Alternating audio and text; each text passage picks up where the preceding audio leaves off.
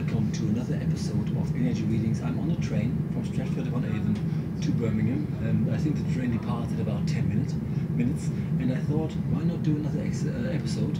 And today we're looking at the week starting on the 30th of October, right through the 5th of November. And as usual, we will be starting with the um, overall energy for the week ahead before we go into our star signs, starting with Libra. But for now, we're looking at the overall energy for the week ahead.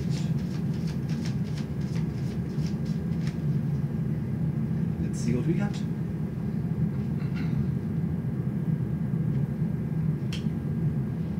Right. So this week is quite interesting and important because we have the lion and the swan, which means we need space, we need to be in our strengths, and we mustn't forget that we can already swim. The, the swan is a bird that is not fully waterproof when when when he, when he, or she is born, and um, I have an adult version here. So the overall energy for, for the week is to remember that we we can already swim. We're in our strengths. We are fully grown, as it were, and therefore the um, underlining topic for this week is to um, demand really um, courtesy and demand respect from people. Don't have people talk down on you this week. It's really, really important. So the overall energy is to remember that we need a clear territory, which means we need some space, and we need to make sure that people who are not giving us um, enough um, space and enough respect shouldn't be dealt with this week. Right? So that's the overall energy. And now we are starting with the first star sign, which is Libra. Let's see what we got.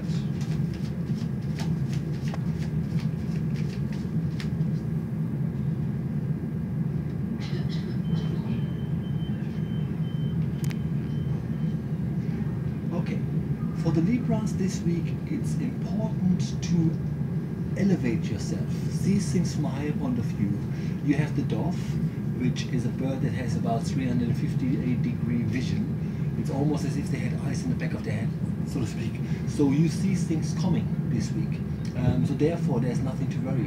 As long as you remember this week um, that you should always speak your truth, and that will, will be achieved by elevating yourself. Okay? And that's short and sweet. That was Libra going into Scorpio. Still staying with the same deck. Um, I think we're about to depart. All good. Once we're rolling, it will be uh, less loud. We will be much more quiet. Anyway, moving into Scorpio now.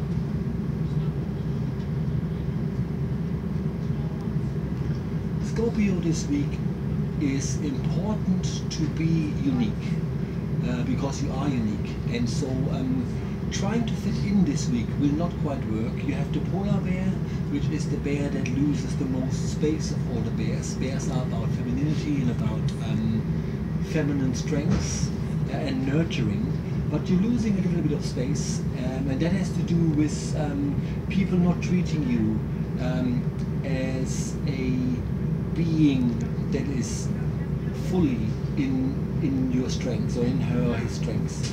So this week is important to be in your strengths and um, to stay clear of arguments is really important for the Scorpio. Moving into Sagittarius, I'm actually drawn to a different deck. Got some more light. Mm-hmm. Let's add some illumination to the proceedings. so Sagittarius now.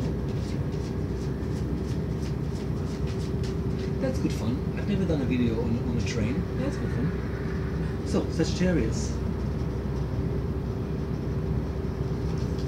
Sagittarius this week, you need to be light-hearted and you need to be calm. You will function much more this week when you're calm. So sunrise and sunset are perfect times uh, for you to gather your strengths and gather your momentum.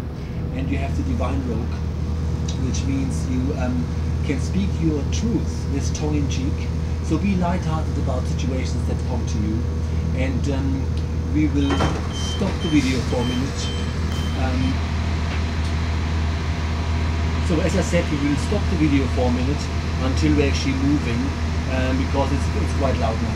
But you know, moving into Capricorn now, and I'm drawn to a different deck.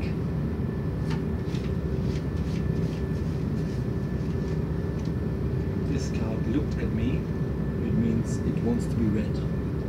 And I still want to have another card. And here we got a second card. Moving into Capricorn right now. Let me just put this aside that's interesting. For the Capricorns this week, it's really important to remember that you have made a lot of progress. So don't let tell, don't let people tell you different. What is important as well is, although you have made a lot of progress, some of you tend to make the same mistakes. What that means is you already know what is working for you, but you're still manifesting parts of what you no longer need. And what is important here is to change that pattern of um, repeating your patterns. Um, what that really means is that you might actually have um, preferences, but you need to reflect um, how much these preferences still work. But remember, you have made progress in all your life teachings, and that's the most important thing. Moving into um, Aquarius now.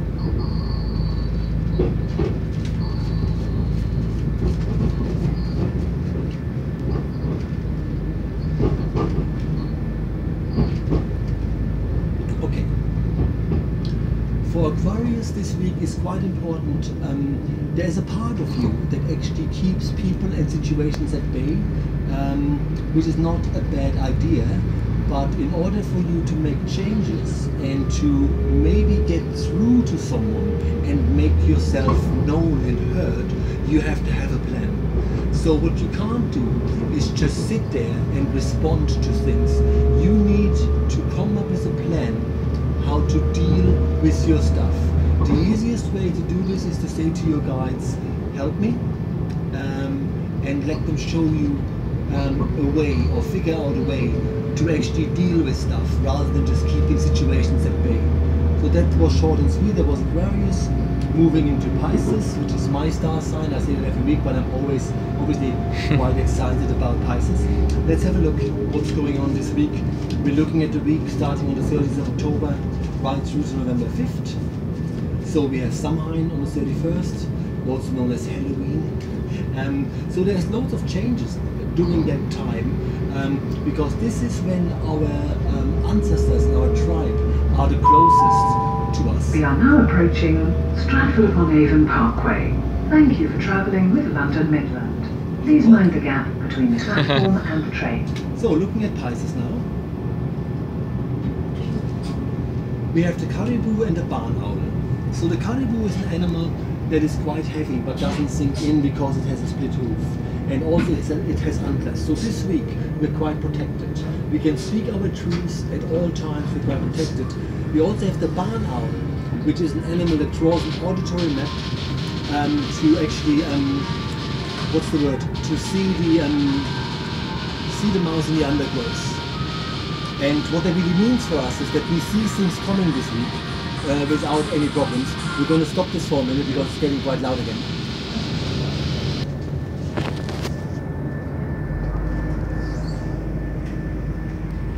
We had actually planned to film a video in nature, but it was raining um, all the time when we went to Stratford upon Avon. So that's why we said, um, let's do it on the way back on the train. It's a little bit louder than usual, but it's quite interesting to do something um, a bit a bit different. So we um, had Pisces now. Now we're moving into Aries, and I'm still drawn to the same deck.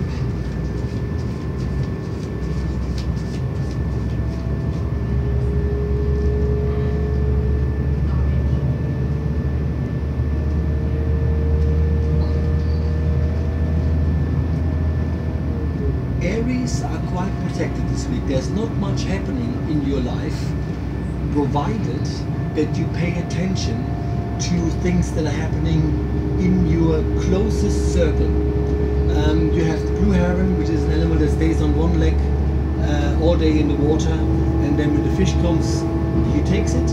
And what that means is that things can come to you, and, and stuff that nurtures you is on the way. That's really important. So you're actually moving into higher energy, which is quite important. You also have a lynx, which is a, a, a, um, a big cat that actually spends a lot of time on cliffs and on stone, which means she always looks for a vantage point. And that's what you should be doing this week. Things will come to you, don't worry about it, but see see things from a much higher point of view. If you are doing spiritual work and if you are doing meditations, this is the week to really do that. Okie dokie. That was Aries moving into Taurus. I'm actually drawn. The same deck. I was drawn to one, but then I thought it doesn't quite fit. So we're moving into Taurus. Let's see what we got for Taurus. And then okay. what you need this week, Tauruses, what you need is loads of space. You need space to do your own thing, you need space to do your it's also a week for reflecting. Um, because you have made progress but you don't quite see it. And the problem that you have is that you are adapting to situations rather than saying, I don't want to do this and I'm not going to do this. So um, you have made progress, a lot of progress in how you uh, come across and how you speak your truth, but you're still maybe too kind, too keen on on um, adapting to situations, keeping the peace. Um, you don't have to keep the peace. What you need is me time and space. That was Taurus, moving into Gemini, uh, Zwilling in German, uh, because the, the cameraman today, Luca, my, my, my 14 year old nephew, is Gemini and he wanted to be reminded. Your cards are coming up right now. Moving into Gemini. Okay. Remember the week that we're looking at is the week of October the 30th right through November 5th. And this is a week, if you are, and this is not just for, for the cameraman, this is, this is for all Gemini, if you stay focused, this is the main thing, you have to stay focused, you will get through everything. There will be things that, that are probably um, feel difficult to you, but because you stay focused, you will be just fine. Really, really important. What do you say? Das passt wegen meinen Arbeiten. Oh, okay, okay. He was just saying it fits because he has to do some, some work for school. Okay, so remember, as long as you stay focused, the work that, you, that, that, that comes your way, you will be fine. Okay? That was Gemini moving into Cancer, Cancerians now.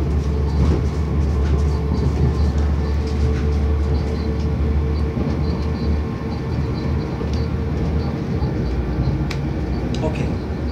For Cancerians, it's time for change, and it's time for serious change. You have made some progress in finding out who you truly are, but you're absolutely not there yet. So um, you're not. Well, none of none of us is a finished product, as it were. But it's important this week um, to not hang on to things that don't work for you. Let them go, but important, don't replace them. Don't move from one thing to the next. That that includes um, work, that includes relationships. Don't just move on, if that makes sense. Um, because you have the ocelot and the rabbit, and the rabbit tells you that the, that the rabbit hole is quite deep, and you need to explore it. But you also need to explore it for a while on your own. So um, being on your own is actually quite a good thing, if that makes sense. Um, what so the so the worry is that you're that you're going that you have patterns and that you don't want to feel isolated and therefore replace situations with new situations that feel similar. And at this point in time, you shouldn't quite do this. That was the Cancerians moving into Leo now. Before we go into into Virgo, so we only have two star signs left. I just want to make some space here. So moving into moving into Leo, and I'm drawn to a different deck. Here we are.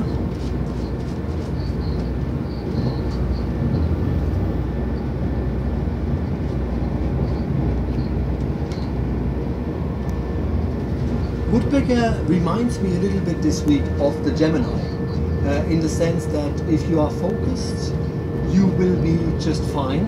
You also see things coming from a distance. What that really means is things that you are aware of want and need to be resolved this week. Um, so this is a week if you have um, tried to avoid a conversation, for instance. This is the week to have that conversation and uh, and go in there with your strengths and with the knowledge that when you speak your truth, nothing can happen to you. If that makes sense. Uh, the outcome might not necessarily um, what you want, but at least you're speaking your truth and you're truthful to yourself. This is a good week to have these conversations um, that are long overdue. Okay? And now we're moving into our final um, and last star sign for the week, which is Virgo.